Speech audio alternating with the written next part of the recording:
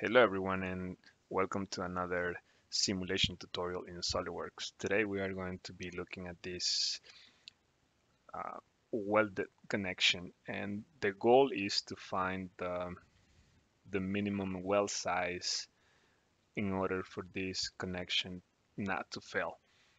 There is a force acting at this hole right here which is 8 inches from the center and the magnitude is uh, 12,500 pound force. We are given the uh, diameter of the tube and this will be used to place the, the weld along that circular shape. And the uh, weld strength that we are using is um, 20,000 psi. So I have already created the tube and the bracket. So we need to uh, prepare the model and let's create a quick assembly before the simulation. So let's create a new new assembly. Before I begin, I'm going to select the correct units. I'm just gonna double check the um, drafting standards is set to ANSI and IPS for inch pound second units for this problem. Uh, now I'm ready to uh, insert components. I'm gonna first I'm going to select the tube, click open. Without selecting, uh, clicking anywhere else, let's click on the check mark here. And this component is fixed, as you can see here with the F letter in parentheses. That means it is fixed. So if you want to drag it, hold it and drag it, it's not gonna let you because it's fixed. Uh, the next component is going to be the bracket. The brackets. Um, now let's apply some uh, some mates and relationships. So the first one is going to be a selecting both uh, with a control key. I'm going to make these two concentric. So now the bracket can move on the X direction. So I'm going to place another mate around that location. So with the control key, selecting the this face and um, actually let's try another way. Let's use the the planes of the components. So I'm going to select the right plane of the tube and the right plane of the um, of the bracket. So with that, I can um, apply a distance, and I would like two inches um, separated from the center. So hit OK. Now let's constrain the bracket along the z-axis. So for that, we are going to um, similar steps. So let's select the front plane and the front plane of the bracket and make that coincident. So now we have a fully constrained assembly. So now if you notice the bracket, it is a surface um, model and this is because in order to do the welding simulation in SOLIDWORKS, we need to have one of the components um, created as a surface. So you, you'll see what I mean when we get into the simulation. Okay, so after we assembled the components, let's go to simulation. If you don't have the simulation tab, you can always click on tabs and select simulation. New study we're going to rename this as um, welded connection study and let's hit OK. Let's apply a, um, a material to this assembly. So alloy steel. Let's click on apply and close. So all components here are made of uh, alloy steel. So now let's expand the part tree. So in here, under bracket, we're going to give it a thickness. If you notice, there is, this uh, bracket doesn't have any thickness. So let's right click on the bracket and click on edit definition. And right here is where we are giving a thickness to this component. And um, we can have half an inch. And um, if you notice, you can see a uh, thickness provided to that bracket.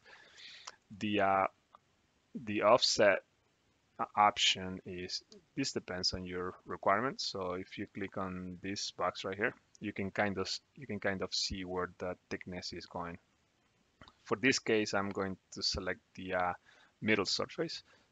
So that thickness is going to be divided on both directions. Let's hit OK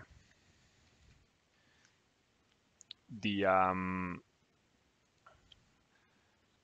next we can apply a um, let's let's fix this uh, assembly. And and if we look at the problem it's going to be fixed at this end right here. So that's the end that we're going to be selecting. So let's select that and let's hit OK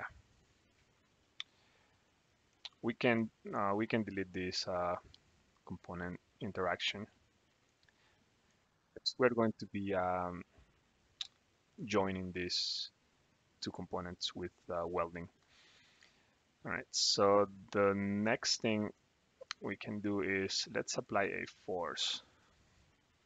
So going back to the problem, so the force is acting on the z direction at this hole right here and is 12,500 pound pound force.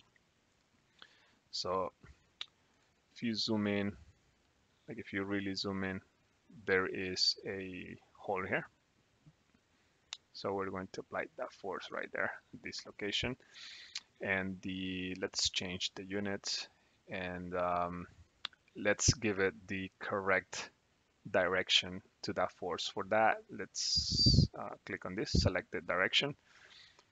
So let me zoom out so you can see better.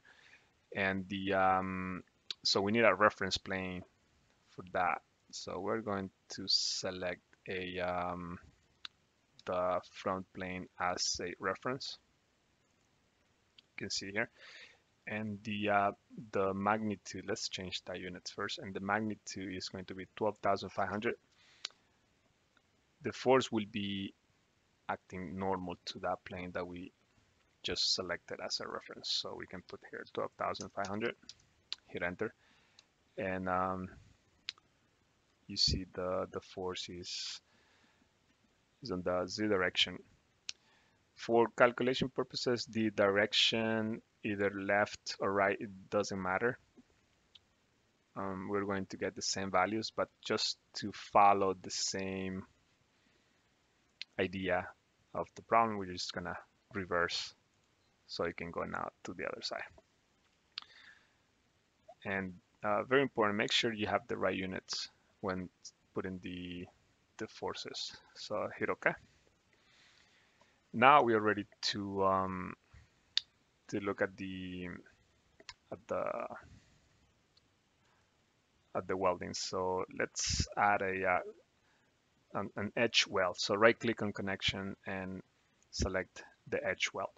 So the edge weld connector is going to um, estimate the appropriate size of a weld uh, required to attach these two components with that given force.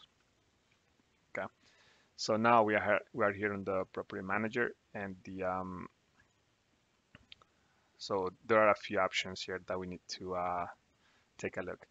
So if you um, click on here, so the double-sided fillet is going to um, give us a well a weld seam on the on both sides of the bracket. If you uh, want the single side is gonna give us only on one side depending on the side that you select. So for this problem we're going to select double-sided because we want a um, a, a weld seam on, on this side and also on this side right here. Okay. So the first uh, face set number one, we're going to select the surface. This is going to be the surface. The second face is going to be the, the other component face. And the third box is going to be um, for the um, for the intersecting uh, edges. So we're going to select that.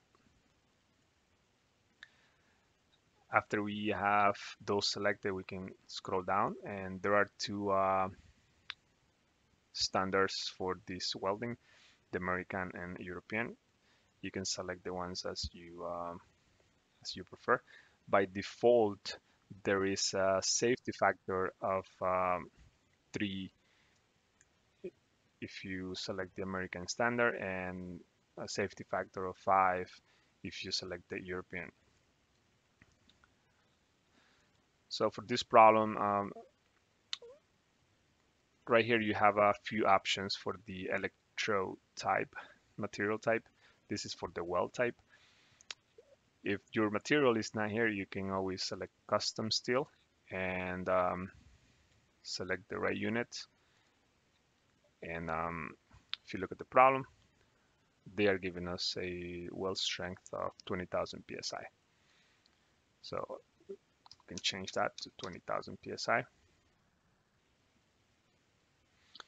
And the um, so for the safety factor, um, you can put here any required safety factor for your um, connection. I'm just gonna put one. And the um, the estimated weld size, this is optional. Um, this is uh, what you are estimating to be the weld, the weld size, and at the end, the calculated weld size is going to be compared to this estimated value. So this is optional. Uh, for this problem, we're going to estimate a weld size of a quarter of an inch. Okay, so it looks like this, this is all we need for the weld connector property manager. So let's hit OK. So you can kind of see the the weld on, on both sides for the model. Um, so after we have created that, we can we can create the mesh.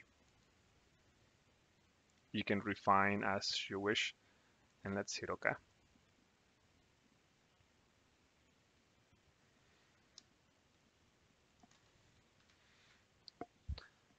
the model looks like it's ready to be um, simulated. So we're going to click run this study. And I'll be back when this is done.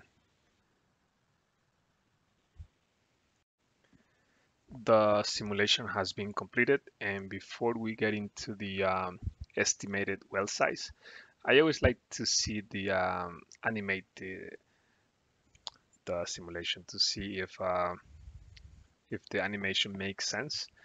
And looking at this, it does because we apply a force at this location on the this is the z direction pointing to the right so this is how the the model will behave in real life.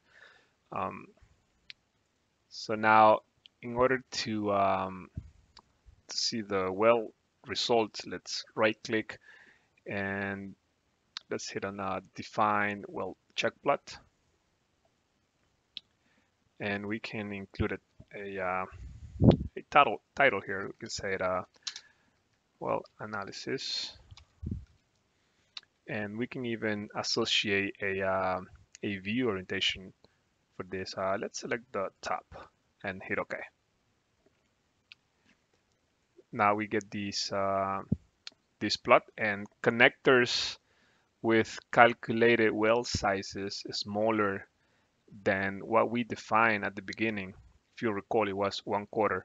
So anything smaller than that uh, will be listed as okay on, on this section here and anything larger uh, than what we defined before is gonna appear here under the uh, needs attention. So for our problem, uh, we have uh, the connector under the needs attention, and that's because the estimated value of one quarter, what we anticipated at the beginning, is less than the actual calculated weld size. So we need a so we need 0.64. Uh, looking at the um, at the simulation, and we have 0.25. So we need to consider and increase the estimated weld size. So if we go back to the simulation and make this 0.63, for example, then this weld connector will appear under the OK section. So in addition to that, we can go to details here. And from here, we can get a more comprehensive uh, values for the, for example, we, we get the weld size, the minimum and maximum values. We get the throat size, the normal force, um, shear force on the x on the axis and, and normal force. Um, if you want to export these values, you can click on save and it'll export as an Excel file. We can even see the um, a plot here. So let's click on that plot. And um, and from here we we are getting the weld size along the weld seam. So if you notice the peak is about uh, first let me change the units here so we can get the right table units. So let's click one more time on that table. So if you notice here, the peak value is about 0.63 and this is the value that we need to uh, size the weld because typically you don't you don't size different weld uh, sizes along the the seams so typically you select the maximum number for the application. And uh, and this concludes this tutorial. I hope you enjoy and thank you for watching